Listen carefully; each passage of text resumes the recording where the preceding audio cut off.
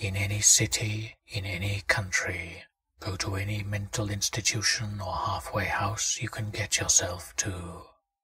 When you reach the front desk, ask to visit a man who calls himself the holder of ambition.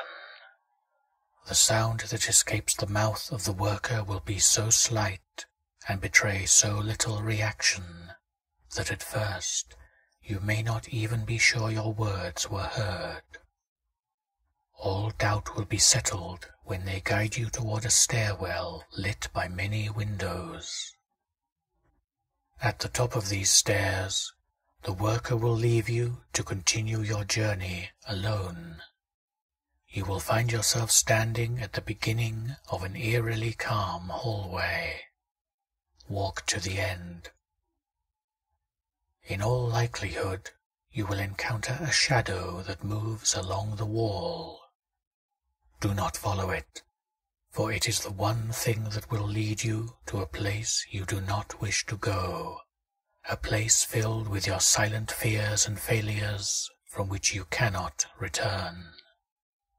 No matter what shape the shadow takes, and no matter how it eases and taunts your dreams with the greatest of your desires and hopes, do not even let it tempt your gaze, let alone your feet.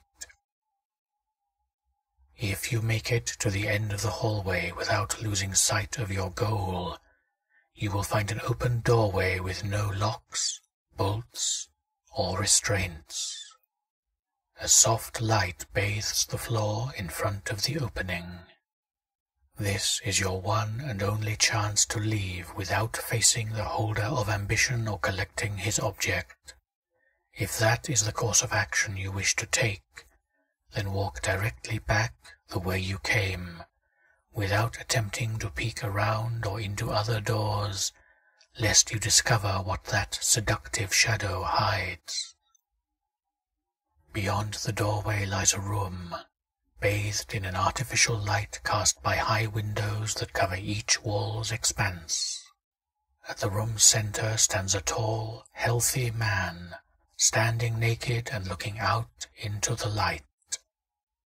His body is covered in uncountable tattoos and scars. Only his face is recognizable as unaltered human flesh.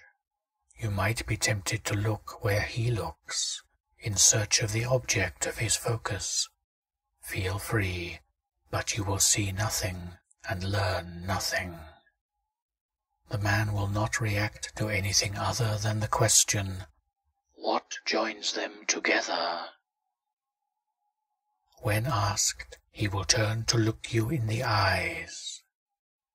Meet his gaze, but know that if you are not prepared, if there is even the slightest doubt of your intentions, then you will lose yourself in his soulless eyes for an eternity.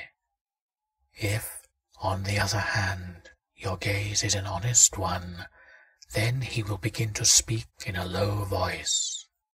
His tone will be a comical one, his tale told as if they meant nothing at all. But you must not miss a word, for this story is your preparation. Listen carefully to his tale, and remember every detail. When the man finishes speaking, he will bring his hands to his chest and remove the sutures from one of his more noticeable scars. As the stitches come out, he will bleed profusely and fatally.